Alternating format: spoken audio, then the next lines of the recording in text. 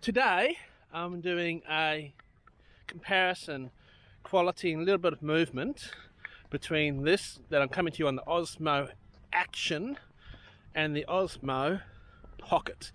So I'm just going to see a little bit of difference between the quality of the picture and a little bit of the movement walking around and I've got a helper today. Hello.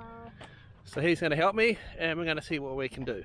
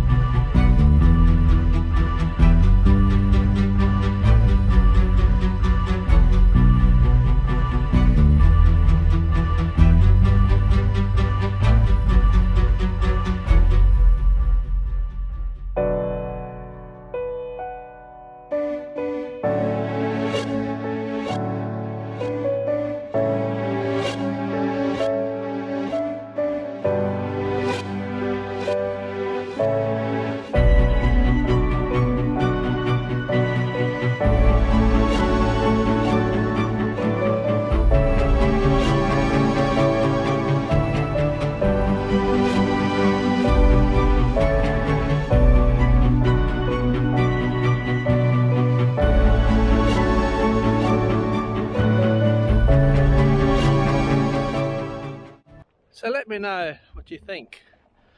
I've done a bit of running, a bit hard running after them, but let me know what you think of stabilization and quick picture quality. This is just a very brief one between the Osmo Pocket and the Osmo Action.